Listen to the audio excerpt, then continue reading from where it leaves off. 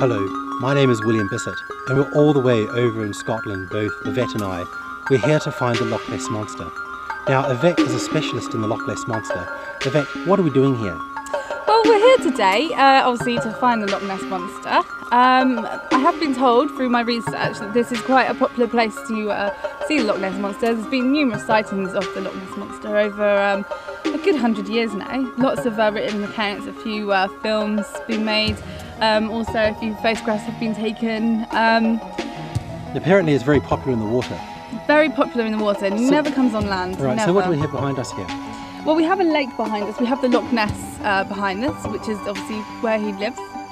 Um, Great, well, let's, well, let's go down and have a look, shall we? let's have a look. Great.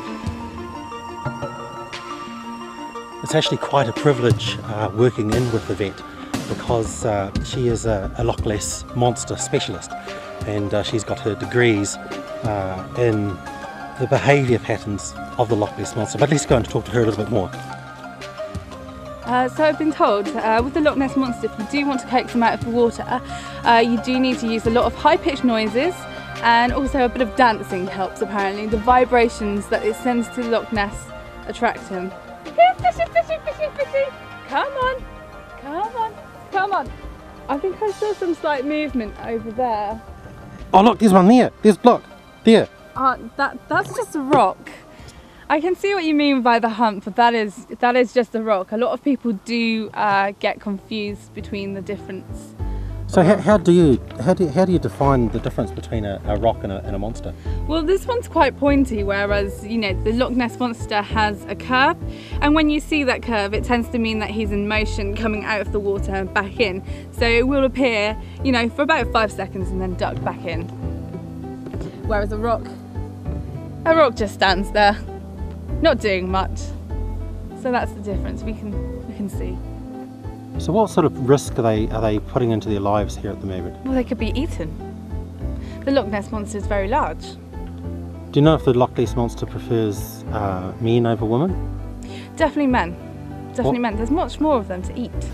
Fishy, fishy, fishy! Come on! Fishy, fishy, fishy! I've got some lovely cigarettes for you. Now you like your nicotine. Come on, fishy, fishy! Come on! Seems very reluctant today. I have to I have to say the the scientific research that you've put into this is, is quite remarkable, but I feel quite useless. Is there anything I can do? Well, you could try the dance. I, I don't I don't know how to dance. It's very I don't know simple. It's very simple. It's just a a step like that. So you want to bounce your feet. You want to, and if you can get it quite hard while also using a high-pitched voice, you're going to attract him. Those vibrations of like the high and the low mixed together will attract him. Okay, well can you can you teach me the dancing? It's very simple. It's very simple. It's it's it's more like that, like that, and, and a bit of that, and a bit of that, and here fishy fishy at the same time. Can you do that? Do you reckon?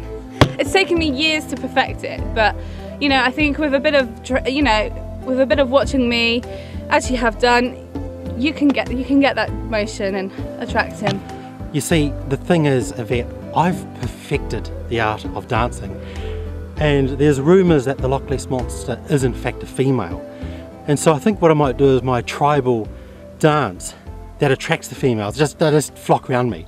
Okay, you have to you have to restrain yourself while I do the dance if that's okay. Excellent.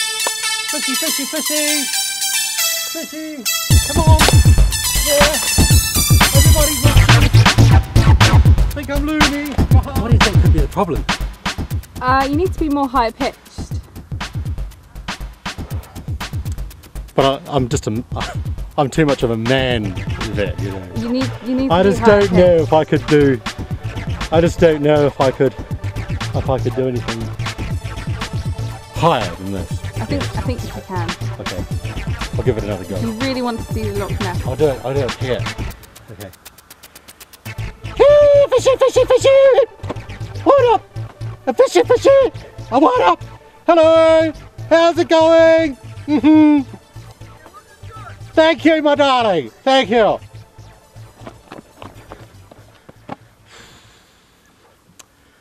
I'm just feeling a little bit down. I'm just going to sit over here for a minute. Oh hey, um, I've got an idea actually. Uh, the the Loch Ness monster is madly in love with me. I, I hope you know this. We, we, we have a, a very strong bond with one another. We we could try and make him jealous, like maybe dance together. We could see how that would go. Like up there, we could just, you know, just throw some moves together and, and see if we could coax him out. He he might, because he's not a female.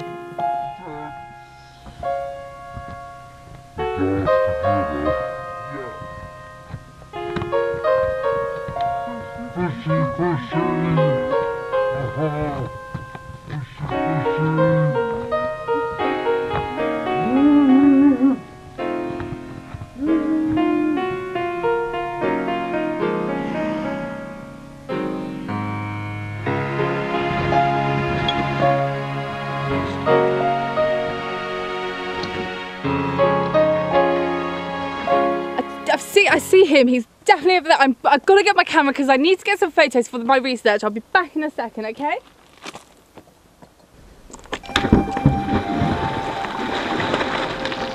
William? Where, where you, where's he gone? William!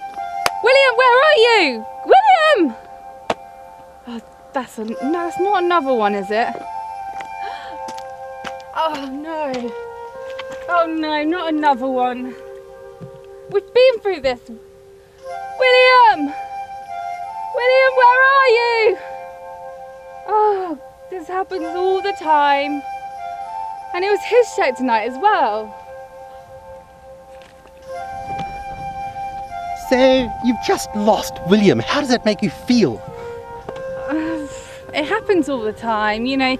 You get these people so desperate to make films and they always come to me because I'm a specialist and they just don't listen to my rules. They get a bit excited, a bit carried away, you know, they see they see something and then before they know it they don't realise that he will eat you. My strategy for making the, the, the Loch Ness monster um, jealous, it, it was it worked a bit too it was a bit too effective. It could be. I think he's just he's slightly in love with me. So if he sees me with anyone else, it, it's happened with women as well. Uh, if he sees me with anyone else, he uh, tends to just get a bit mad, and his uh, his way of dealing with that is to uh, eat the uh, the potential potential partner. I've had an affair with the Loch Ness monster. Oh, oh, that's just ridiculous. A monster that size. It's impossible. It's, it's physically impossible. I am just, they're just jealous. They are just jealous people because I have a relationship with him. Just, you know, a, a human to an animal. They seem to think I've had some kind of relationship with it. And that's all, that's just rubbish. They just, they just don't know the techniques I use. They don't get the techniques I use. They think that they're, um, they're mad, but they're not. They work. They get results. They're just, they're just jealous.